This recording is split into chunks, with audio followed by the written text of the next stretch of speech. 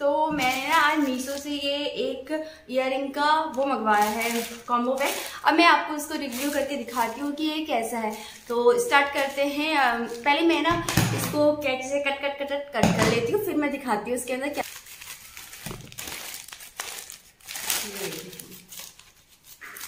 जो पैकेजिंग है ना, वो एक अच्छे से बॉक्स में आई हुई है। तो मैं इसे ओपन करूँगी